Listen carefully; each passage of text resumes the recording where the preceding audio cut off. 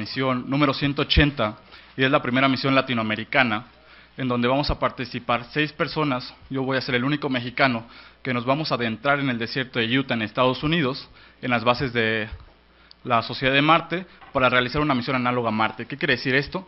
Es de que se busca emular las condiciones que vamos a tener en ambientes marcianos en el planeta rojo para poder nosotros comenzar a realizar experimentos, a verificarlos, detallar su veracidad y sobre todo afinar los detalles para que este viaje sea posible en el 2033.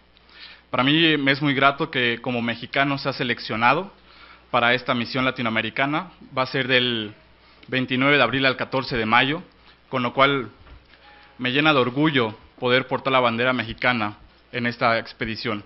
Yo considero que quizás para mí es un pequeño paso, pero un gran paso para todo México hacia lo que buscamos para la exploración espacial. Los experimentos que voy a tener a mi cargo va a ser un protocolo para determinar la radiación en ambientes marcianos. Este protocolo va a servir de ayuda para los futuros astronautas en Marte y lo voy a hacer en cooperación con los miembros de la tripulación. Uno de ellos es Camilo Reyes, de Colombia, un gran amigo y un colega, y vamos a estar trabajando juntos. Toda esta tecnología, quiero señalar, de que se ha desarrollado aquí en la máxima casa de estudios, en la Universidad Nacional Autónoma de México, en el Instituto de Ciencias Nucleares en la Facultad de Ciencias.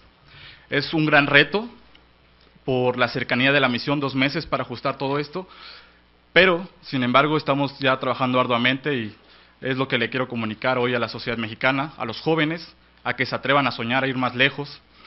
también quiero instar a los líderes políticos y financieros de nuestro país a que se comprometan a invertir en la ciencia, la tecnología y la educación como uno de los ejes fundamentales para transformar el México que tanto deseamos.